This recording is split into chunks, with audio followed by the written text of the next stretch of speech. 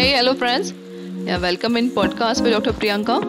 Today in this podcast we are going to listen about the science behind the breast milk. So kindly stay tuned. So yes, mommy, like when you're feeding your baby, that is when your baby suckles, it sends a message to your brain. So the brain then signals the hormones prolactin and oxytocin to be released, which are the two important hormones playing the role in the breastfeeding. So prolactin causes the alveoli to begin making milk.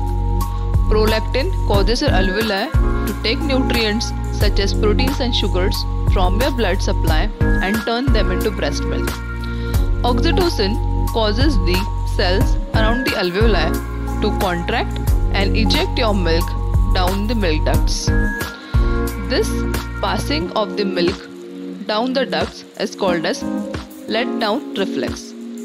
So the studies show breast infant breastfed infants grow up to experience lower rates of asthma and allergies and the reason why may be because the short chain fatty acids found in breast milk are uniquely able to line infants' colons and lead to stronger immune responses.